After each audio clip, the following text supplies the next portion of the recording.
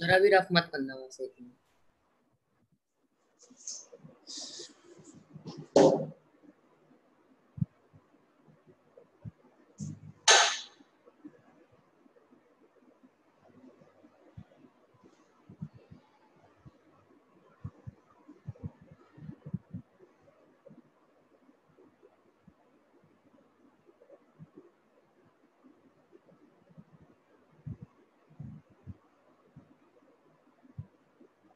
हो गया sir.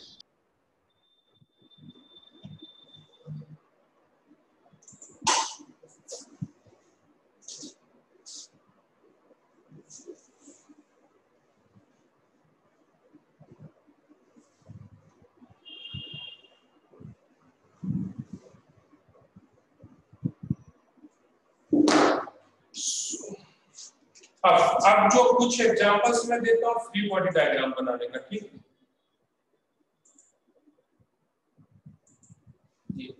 So all forces acting in the acting on the blocks and rod in their free body diagram.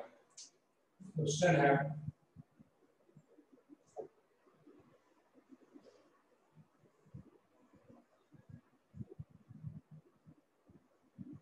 So all forces acting on the block and rod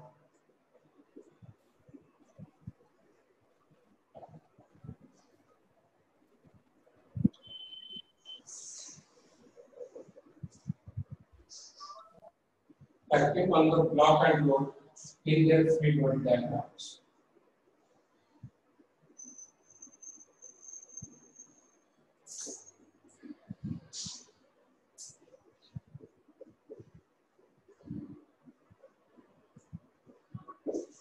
So all forces acting on the block and rod in their free body diagram.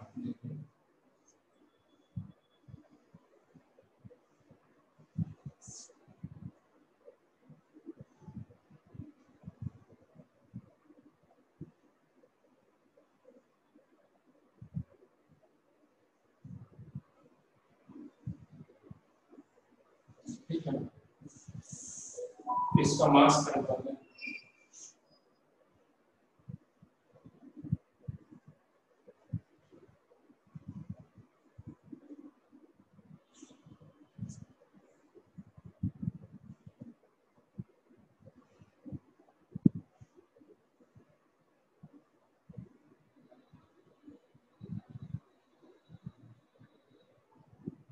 और इसका मास plot है अब आपको दिखाना है कितने type के forces जो है, इसके ऊपर लग रहे हैं। चलिए, दो मिनट ट्राई कीजिए, फिर मैं स्टार्ट करता हूँ।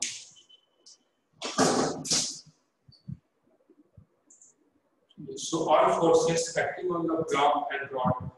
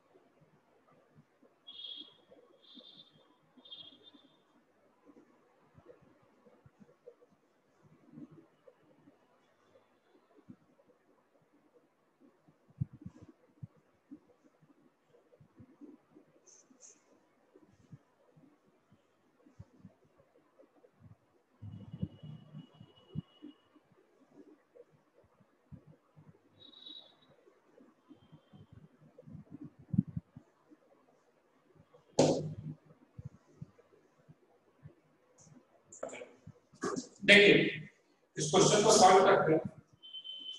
देखो, ये क्या होगा? पहले इसको देखते हैं, ठीक है? अर्थ इसे अपनी तरफ़ टेम्पन जी तो बेझिझक के लगाई देगा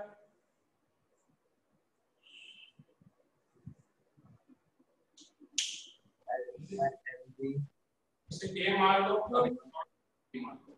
m1 जी तो लगाएगा अब क्या होगा?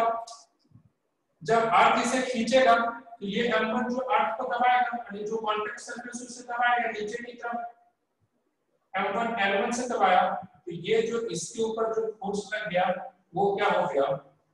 जब ये l1 से दबाएगा तो नीचे वाला सरफेस भी से क्या करेगा? ऊपर की तरफ़ फोर्स देगा, और वो क्या हो गया? L1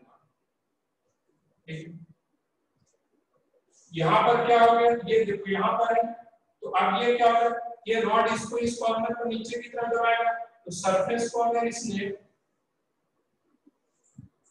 N2 से किया तो ये रॉड के ऊपर भी कितना फोर्स लगेगा? N2 लगेगा। ठीक है?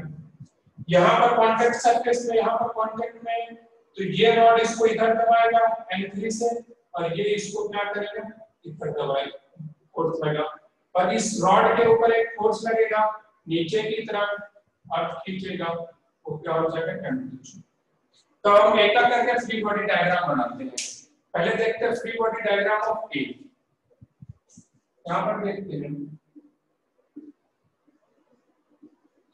ए का फ्री बॉडी डायग्राम ए इसका ये देखना ये एंगल है थीटा की बना है। ये एंगल थीटा की बना है। देखो कितना m1 जो नीचे की तरफ़ लग रहा है? तो इसके ऊपर लग लिख दिया हमने m1 सीधा ऊपर की तरफ़, इस a के ऊपर ऊपर की तरफ़ एक फोर्स लग रहा है m1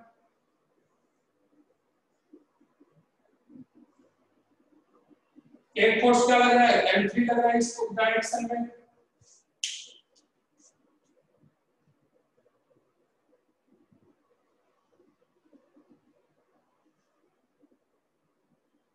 N3 लग रहा है तो हमने क्या किया? N3 यहाँ से, इस कॉर्नर से, इस डायरेक्शन में n3 निकाल दिया।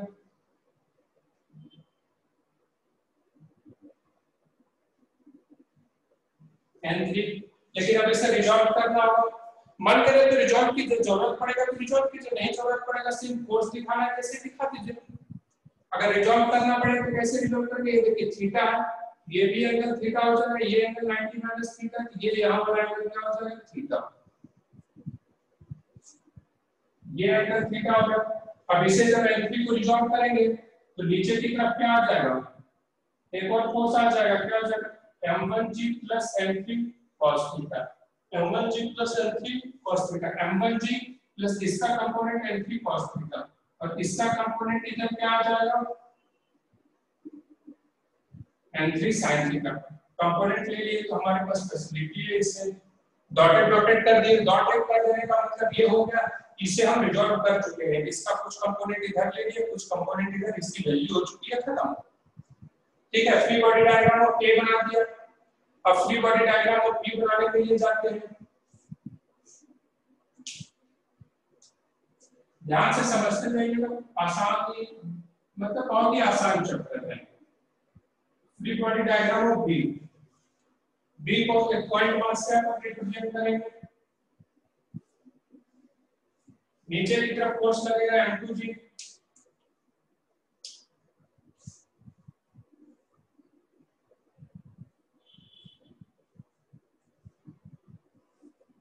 नीचे की तरफ़ फोर्स लग गया m2g ऊपर की फोर्स लग रहा है n2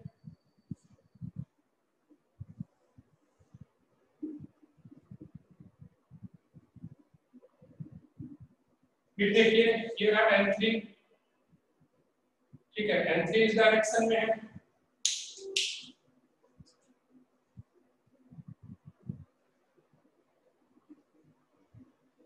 रिजॉल्व करने की ज़रूरत पड़ेगी तो एंगल ढूंढेंगे। अगर ये एंगल थीटा ये भी एंगल थीटा और ये 90 माइनस थीटा ये एंगल क्या हो जाएगा? थीटा ठीक है? तो ये एंगल थीटा हो गया। रिजॉल्व कर दो इस एल को। इस डायरेक्शन में ऊपर की डायरेक्शन में कोई फोर्स आ जाएगा। L2 plus L3 cos theta और इस डायरेक्शन में कोई फोर्स आ जाएगा। L3 sin थीटा ध्यान में रहे, आपको रिजॉल्व करने के लिए आना चाहिए। जो थीटा के साथ में जो साइड रहेगा, देखो ये थीटा के साथ कनेक्टेड है। इधर L3 cos थीटा हो जाएगा। ये थीटा के अपोजिट वाला क्या हो गया? एन साइन थीटा चलो। यहाँ तक। नोट डाउन कीजिए नेक्स्ट क्वेश्चन देखता हूँ।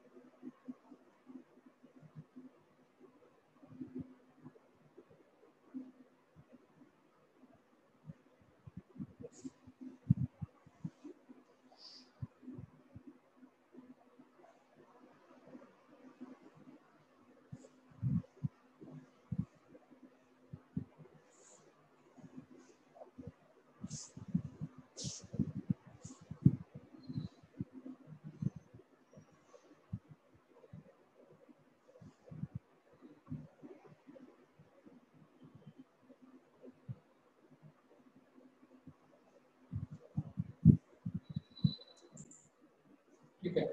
चाहे सिलेंडर देखिए अब यहाँ पर हम बताना चाह रहे हैं चाहे सिलेंडर हो, चाहे स्फीयर हो, किसी भी टाइप की बॉडी हो सिलेंडर स्फीयर सर्कुलर सर्कल की तो उस केस में अगर हम उसके ऊपर नॉर्मल ड्रॉ करेंगे परपेंडिकुलर ड्रॉ करेंगे तो वो जो है हमेशा उस बॉडी के सेंटर से होकर के क्रॉस करेगा।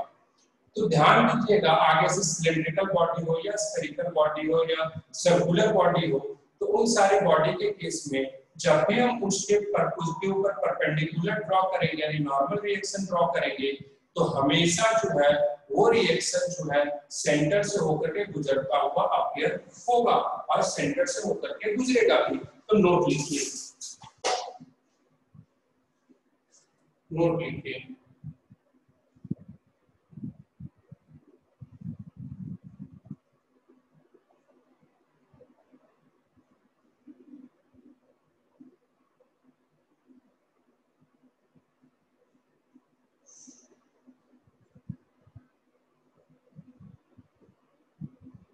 देखिए।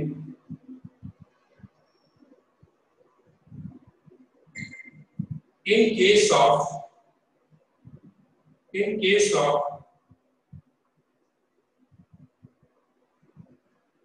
in case of a circular spherical in case of a circular spherical और cylindrical object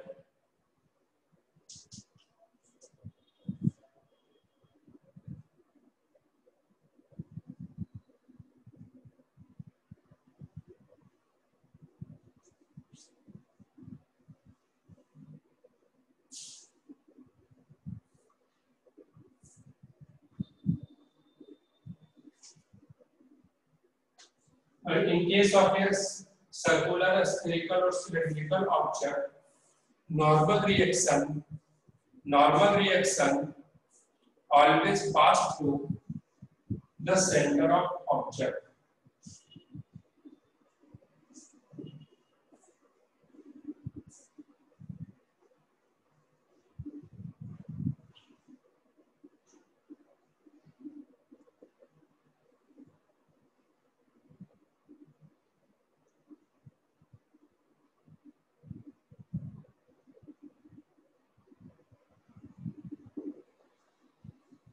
normal reaction always pass through the center of object. Normal reaction always pass through the center of object. ठीक है जैसे कि देखिए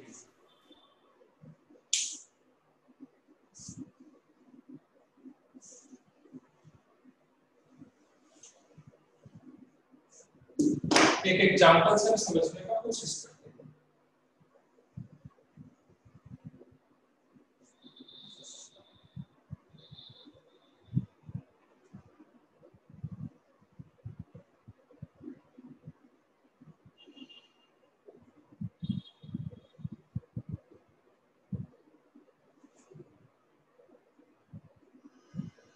ठीक है।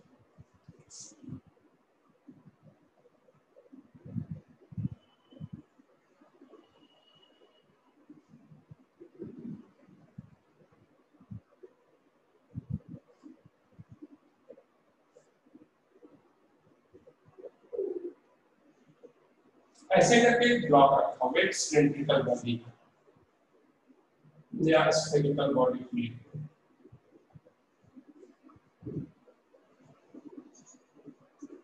Cylindrical body इसका mass m है? ठीक है। अब हमें इसका फ्री बॉडी डायग्राम बनाना है। ठीक है।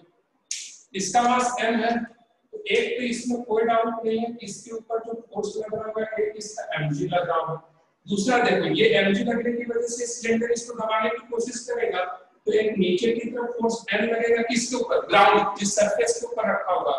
तो ये अपोजिट में क्या करेगा? एक रिएक्शन देगा नॉर्मल रिएक्शन एन1 एन1 लिख देते कि यहाँ पे कांटेक्ट में है।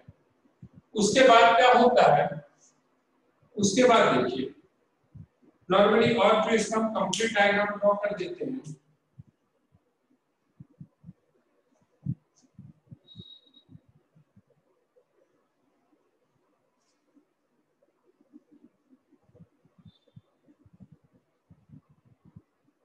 ये इसको अपनी तरफ़ टी टेंशन से खींच। रहे ठीक है? यहाँ से खींच रहा है। फोर्स लगा करके। तो स्ट्रिंग जब रहता है तो प्रॉब्लम ठीक है? तो ये जो है, इस यहाँ पर एक टेंशन टी लग जाएगा। देखो, यहाँ पर भी कांटेक्ट है तो जहाँ भी कांटेक्ट है, वहाँ क्या लगेगा? नॉर्मल रिएक्शन लगेगा। ठीक है? जहाँ पर भी कांटेक्ट है, वहाँ पर क्या लगेगा? नॉर्मल रिएक्शन ठीक है। तो अब देखिए।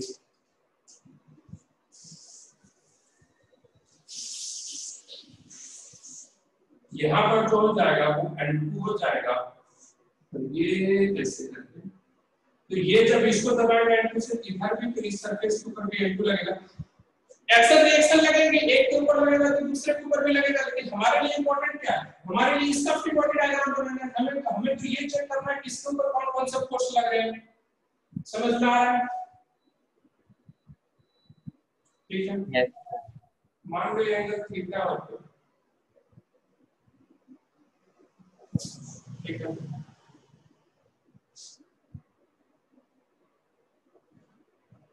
तब इसका फ्री बॉडी डायग्राम आप देखो इसके ऊपर तो सारे फोर्सेस लगे एमजी भी लग गया नॉर्मल भी लग गया एम2 भी लग गया टेंशन भी लग गया। सारे फोर्सेस इसके ऊपर लग चुके हैं। तो जब हम इसका फ्री बॉडी डायग्राम बना रहे होंगे ये देखो, इसको हमने रिप्रेजेंट किया पॉइंट मास से। पॉइंट मास से रिप्रेजेंट कर दिया तो सबसे पहला फोर्स जो इसके ऊपर लग लग रहा है, नीचे की तरफ़ एमजी लग रहा है। एमजी को बहुत ही आराम से हमने ड्रॉ कर दिया। उसके बाद इस डायरेक्शन में टेंशन लग रहा है। टेंशन को भी हमने ड्रॉ कर दिया। उसके बाद ऊपर की तरफ़ नॉर्मल रिएक्शन लग रहा है।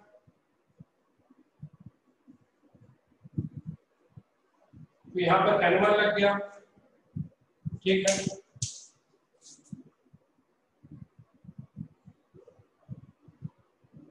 ठीक है फिर क्या है? इस एंगल पर क्या लग रहा है? एन टू एन टू देखो एन टू लग रहा है। इधर इस डायरेक्शन में लग रहा है। यहाँ से क्या होगा?